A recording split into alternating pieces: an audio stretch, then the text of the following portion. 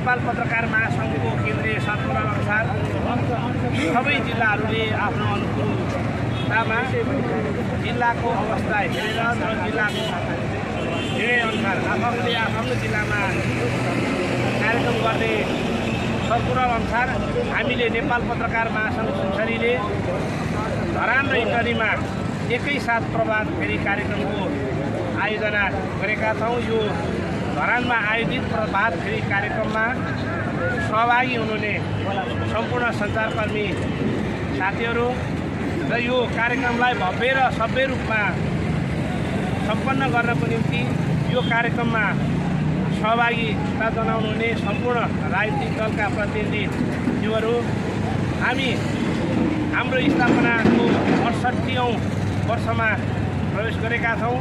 यस अवसरमा हामीले यहाँ प्रभात फेरीको आयोजना गरेका छौँ र यो हाम्रो अडसट्ठीौँ स्थापना दिवसको अवसरमा आफ्नो शुभकामना मन्तव्य राखिदिनुको निम्ति म नेपाल पत्रकार महासङ्घ संसरीका अध्यक्षज्यूहरूको तर्फबाट पूर्व अध्यक्ष वरिष्ठ पत्रकार हर्ष सुब्बाज्यूलाई शुभकामना मन्तव्य राखिदिनको निम्ति म आदरणीय पूर्व अध्यक्ष वरिष्ठ पत्रकार हर्ष सुब्बाज्यूलाई हार्दिक अनुरोध गर्दछु।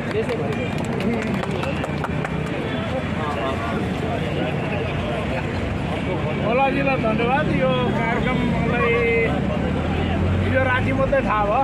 पत्रकार महासङ्घको वास्तवमा यो प्रेस स्वतन्त्रता यो स्थापना दिवस चाहिँ अत्यन्तै महत्त्वपूर्ण हो।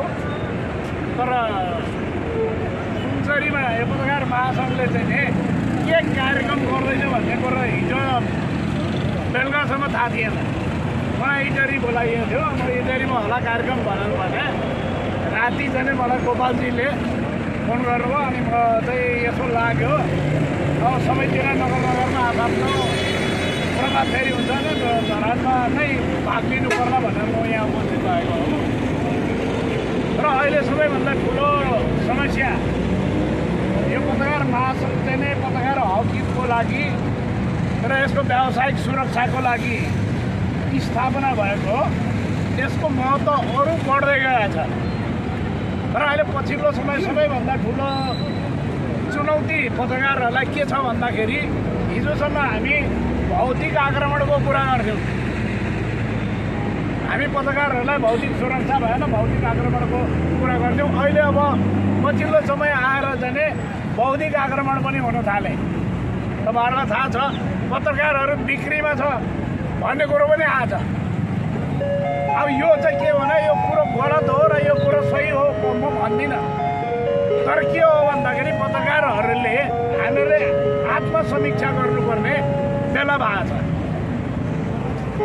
र यस्तो व्यावसायिक समस्याहरू चाहिँ पनि आएका छन् चुनौतीहरू पनि आएका छन्। अहिले अब सामाजिक सञ्जालको जमाना छ। युट्युबको जमाना छ।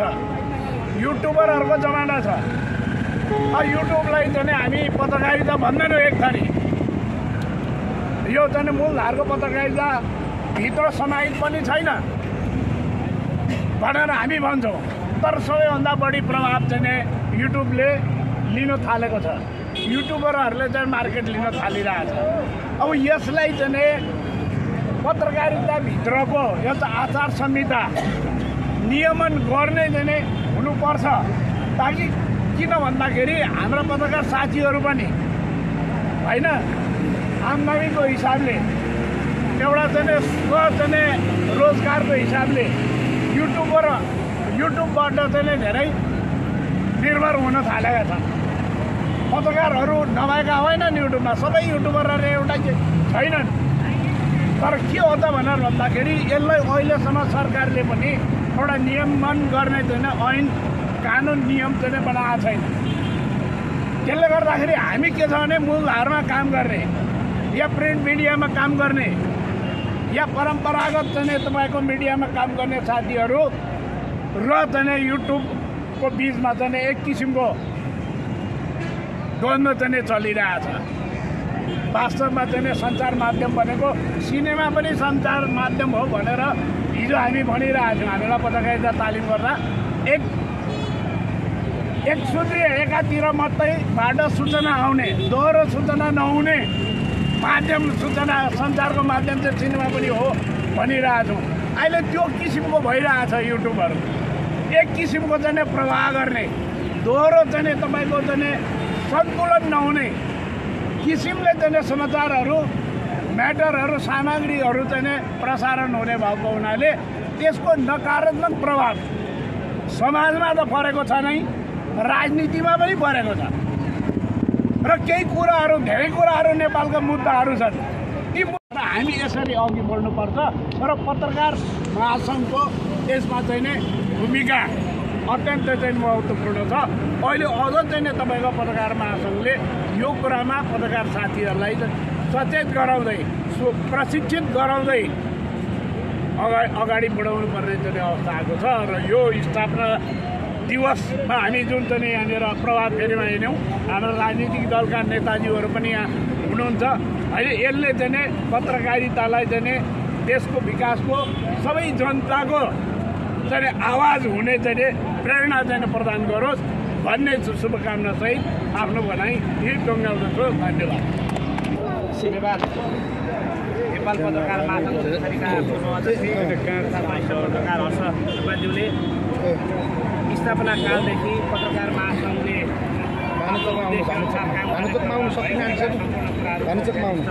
बताउँदै उहाँले आफ्नो कुरा राखिसक्नु भएको छ र अब हामी कार्यक्रमलाई विलम्ब नगरिकन आफ्ना केही कुराहरू शुभकामना राखिदिनको निम्ति म पत्रकार भीम राईद्वारा त्यसलाई हार्दिक अनुरोध गर्दछु।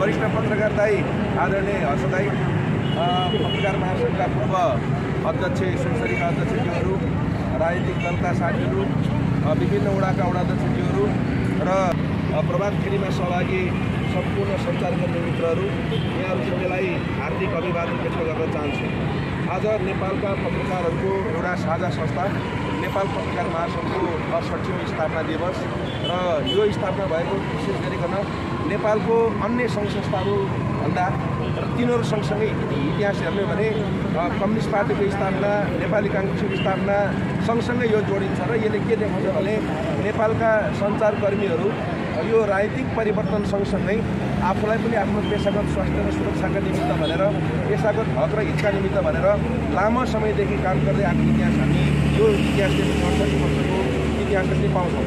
र अघि पनि यहाँ चर्चा चलेको छ र विगतको पत्रकारिता र वर्तमानको पत्रकारिताको कुराकानी गर्दै गर्दा अहिले मूल स्ट्रिमका जर्नालिजमभन्दा विशेष गरिकन न्यू मिडियाको अहिले प्रभावहरू बढी छ। र यो प्रभाव बढ्दै गइरहेको सन्दर्भमा अ, सञ्चारकर्ममा लाग्ने हामी जति सञ्चारकर्मी साथीहरू हामी छौँ र यो न्यू मिडियाको जुन प्रभाव छ त्यसलाई थ्याक्ने हो भने मूल स्ट्रिमको जर्नालिजमलाई अलिकति हामीले स्थायित्व दिने अथवा यसलाई अलिक बलियो बनाउने र यसलाई अलिक प्रभावकारी बनाउने सन्दर्भलाई हामीले ध्यान दिने हो भने हामीले विगतमा गरेका कामहरू र अहिले नयाँ न्यू मिडियाको हिसाबले जुन खालको जेनेरेसन अहिले जेने जेनेरेट हुँदैछ त्यो बिचको जुन तुलना हो र त्यो बिचको जुन ग्याप हो त्यसलाई बुझेर चाहिँ हामीले पत्रकारिता गर्ने हामी जो मूल स्ट्रिममा काम गर्दैथ्यौँ त्यसले त्यसलाई चाहिँ के भन्दाखेरि हामीले एउटा चाहिँ त्यसलाई लिनुपर्ने जरुरी देख्छौँ र त्यो सँगसँगै अहिले विशेष गरिकन विगतको कुराकानी गर्ने हो भने योभन्दा अगाडिका सञ्चार कर्म क्षेत्रका अथवा भनौँ यो पत्रकारिता क्षेत्रको कुराकानी गर्ने हो भने विगतमा के हुन्थ्यो भन्दाखेरि विशेष गरिकन सञ्चार कर्म क्षेत्रमा हामीले लामो समय उठाउँदै आएको कुरा के हो भने पत्रकारहरूको शुद्धिकरणको कुराहरू अलिक घनीभूत ढङ्गले उठ्यो पत्रकार शुद्धिकरणको सन्दर्भमा त्यसमा मूलत नैतिक प्रश्नका कुराहरू आर्थिक गतिविधिसँग जोडिएका कुराहरू र विशेष गरिकन त्यो सञ्चारकर्मीले कुन विषयलाई चाहिँ उठान गर्छ र कुन विषयको चाहिँ मुद्दालाई बोक्छ भन्ने कुराहरू अलिक प्रभावकारी ढङ्गले उठ्थ्यो र त्यो बेलामा विशेष गरिकन मिसन पत्रकारितामा अलिक मान्छेले बढी जोड अहिले मिसन पत्रकारिता भन्दा पनि इस्युमा हामी बढी केन्द्रित छौँ र अहिले सामान्यत सामान्य जो हामीले देख्न नसकेका विषयहरूलाई चाहिँ नि न्यू मिडियाले त्यसलाई चाहिँ नि क्याच गरिरहेको अवस्था छ र र न्यू मिडियाप्रति हामी सञ्चारकर्मी मात्रै होइन कि आम देशव्यापी रहेका जनताहरूको पनि आकर्षण न्यू मिडियातर्फ छ र तत्काल त्यो चाहिँ के हो भन्दाखेरि त्यो प्रति चाहिँ प्रभावित हुने र त्यो प्रति आकर्षण हुने देखिन्छ। र यो चाहिँ नि विशेष गरिकन आम सञ्चारमा एउटा चाहिँ नि के भन्दाखेरि थ्योरी छ। त्यो चाहिँ त्यो थ्योरी के हो भन्दाखेरि बुलेट थ्योरी भन्छ। र त्यो बुलेट थ्योरी चाहिँ के हो भन्दाखेरि विशेष गरिकन हामीले लेखेको समाचारको प्रभाव त्यसको केही समयपछि पर्ने भन्दा पनि अहिलेको आम जेनेरेसन चाहिँ कस्तो भयो भन्दाखेरि त्यो समाचारको प्रभाव तत्कालै त्यो समाचार हेर्न पनि सकियोस्। त्यसको चाहिने प्रभावकारिता हामीले अनुभूत पनि गर्न सकियोस् र त्यसले तत्कालको तत्काल समाजमा खालको नयाँ खालको चाहिँ त्यसले चाहिँ के गरोस् भन्दाखेरि प्रभाव जमाओस्। त्यो हिसाबले चाहिँ त्यो चाहिँ के भन्दाखेरि त्यो जुन बुलेट थ्योरी छ मास कम्युनिकेसनभित्रको अहिले सबैको चाहिँ ध्यान आकर्षित त्यस्तो भइरहेको हुनाले अब हामी हिजो जुन स्ट्रिममा काम गरेका सन्दर्भ साथीहरूले पनि हामीले विशेष गरिकन न्यु मिडियासँग हामीले तर्सिनु पनि जरुरी भएन। तर उनीहरूले जुन हिसाबले उनीहरूले जुन इस्युहरू चाहिँ उठाइराखेका छन्।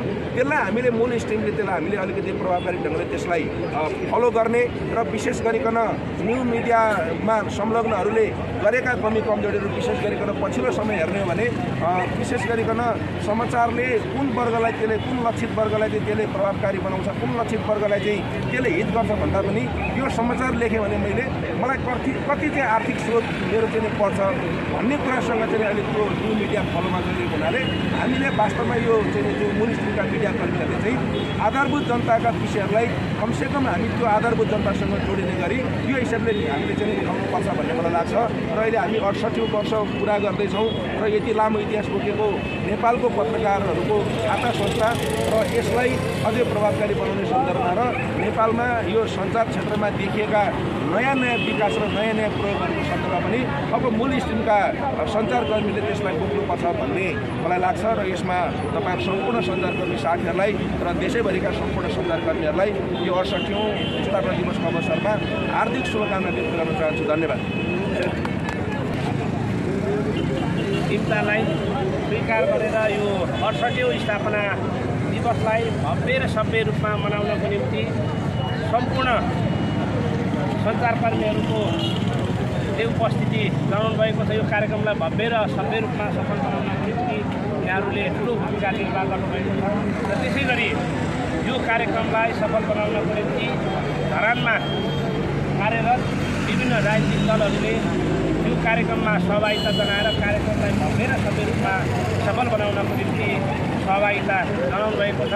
यो कार्यक्रमलाई सफल बनाउनको निम्ति उपस्थित भएर सहयोग गर्नको निम्ति पाल्ने सम्पूर्ण सञ्चारकर्मी राजनीतिक दल र यस क्षेत्रमा कार्यरत विभिन्न वार्डका जनप्रतिनिधि सबैलाई म नेपाल पत्रकार महासङ्घ संस्थाको तर्फबाट र मेरो व्यक्तिगत तर्फबाट हार्दिक हार्दिक आभार प्रकट गर्दछु र यो अठसठौँ स्थापना दिवसका अवसरमा आयोजित प्रभात फेरि धरान क्षेत्रको प्रभात फेरि कार्यक्रम यही समापन भएको